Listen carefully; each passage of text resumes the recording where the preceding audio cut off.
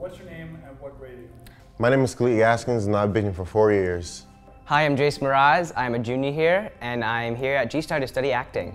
My name is Cecilia Casas. I'm in ninth grade, and I'm in the film department. So I take the tri-rail here, and it's it's a long ride. I live about an hour away from G-Star, but whenever I step foot here, it's totally worth it. It's nothing like it. When I got here, the first day, everyone was friendly. You know, the entire environment was just welcoming, warm. I felt like I was at home. My first impression was that everyone was so different than any other school I'd been to. Everybody works together. Everybody accepts each other for what they are.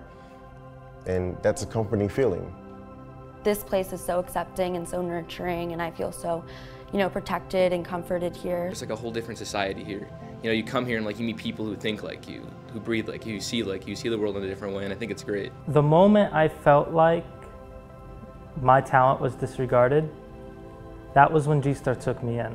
And so I went to an orientation for G-Star and I absolutely loved it. My freshman year was definitely something that introduced me to how unique and great G-Star is. You can go to like the other schools that do theater and performing arts and stuff like that, but this school has both options. It has the performing arts and theater, but it also has the individual sections of doing acting. When a student, young, young person first walks into my class, it's the beginning of a transformative moment for that student. At first, I wanted to do acting, but um, I soon came to realize that my passion was in film. You get a lot of hands-on experience here. I mean, uh, you can work in the green room, you can work with the cameras all the time. Um, they teach you how to use everything.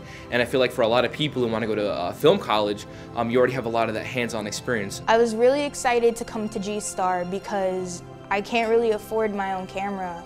So when I'm in school, I get to work with them hands-on, and that's really exciting for me. And I look forward to coming to class every day, which not many students can say. What's your favorite thing about G-Star? Oof, my favorite thing about G-Star, okay. If I had to pick uh, my favorite thing about G-Star, it'd have to be the teachers. The teachers here at G-Star are very, very creative. The students finally have a choice in what they, they can learn about. Like they're taking control of their education. And you can really become a part of the arts and the industry here. It's you. That is what I like. G-Star is really helping me discover myself and who I really am and how strong I can really be. G-Star taught me to be myself, follow my visions, and make my dreams a reality. I would say thank you to G-Star for helping me discover things that I never knew like I had a passion for. In my next four years of G-Star, I think that I'll have a lot of fun, and although it'll be a lot of work, it'll be so worth it, and I really can't wait for it. From the first day you walk into freshman year, until you get that diploma and walk off the stage on graduation, G-Star is going to help you, and they're going to be with you. Anything you need, they'll help you. Don't be afraid to ask. Without everything that G-Star has given me, I wouldn't be where I am today.